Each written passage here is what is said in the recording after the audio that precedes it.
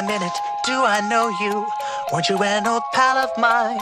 Departed from us far too early, but now we're meeting a second time. We used to have such fun together, and maybe you have what I need. But first, I have one tiny question. Tell me, do you demons bleed? Hey, sorry, but you just got in my way. I promise, honey, I can feel your pain, and maybe I enjoy it just a little since I expired. Doesn't mean that I plan to retire. And now I have the power to breathe all of you in entertaining fire.